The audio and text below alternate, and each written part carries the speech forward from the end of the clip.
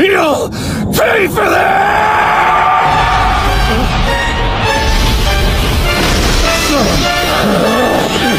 You took my body. You took my life. Then you even killed Chi-Chi and Goten! You're gonna regret telling me that, Zamasu! Because now I'm mad.